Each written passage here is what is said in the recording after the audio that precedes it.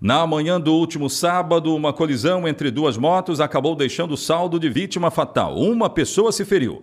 O acidente ocorreu no conhecido trevo do bairro São José, que fica na BR-101, perímetro urbano de Linhares. De acordo com uma testemunha, Josimar Nascimento dos Santos, de 43 anos, trafegava em sua motocicleta no sentido São José, centro da cidade. Quando passou pelo semáforo do local, foi atingido por outra motocicleta que trafegava no sentido contrário, centro-bairro Canivete. Com a força do impacto, Josimar caiu no meio do canteiro. A suspeita é de que um dos motociclistas tenha avançado o sinal. Josimar foi levado então para o HGL, mas não resistiu aos ferimentos e morreu. A Polícia Militar socorreu um jovem que foi vítima de disparos de arma de fogo no residencial Rio Doce, aqui de Linhares. O caso foi registrado na noite deste domingo.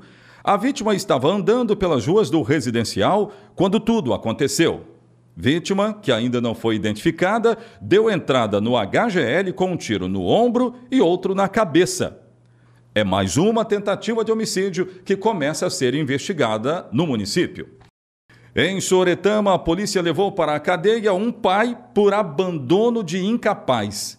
De acordo com o boletim de ocorrência, um garoto de 4 anos foi visto por moradores sozinho, tentando atravessar a BR-101 na altura do quilômetro 125, perímetro urbano da cidade. O garoto foi levado para o DPM local e foi alimentado pelos PMs. Horas depois, o pai da criança foi encontrado em um bar consumindo bebida alcoólica. No mesmo momento, a polícia deu voz de prisão ao pai do menino, que foi levado para o conselho tutelar. O caso foi registrado no plantão da 16ª Delegacia Regional de Linhares. Também em Soretama, confusão no pronto atendimento da cidade em plena tarde deste domingo. Um homem invadiu a unidade e agrediu uma mulher com diversos golpes de capacete. Pacientes que estavam na unidade relataram medo após o episódio que foi também relatado às autoridades policiais.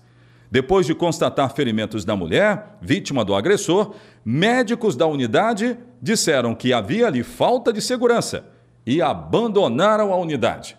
Os pacientes foram orientados a procurar o HGL, que fica aqui no município vizinho.